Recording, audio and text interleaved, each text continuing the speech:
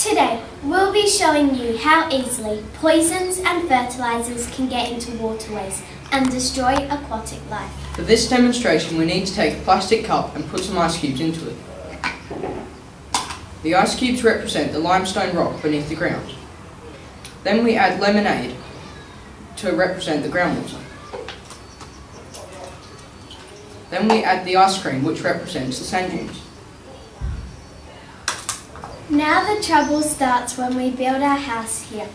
Because when you build houses, people like to plant grass and put in a garden, sprinklers. They also often sink a water tap into the groundwater.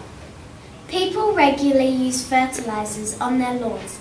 Unfortunately, the excess often flows off or seep into the groundwater, especially when there is a bit of rainfall, and we then have Also, people often use chemicals around the house that can also get into waterways, having detrimental effects on the ecosystem.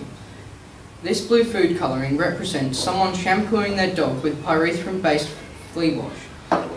Even though it is a natural product, pyrethrum only, not only kills fleas, but aquatic life too. Now, if this house was built near a river or lake and it was not contained to this plastic cup, this is what would happen.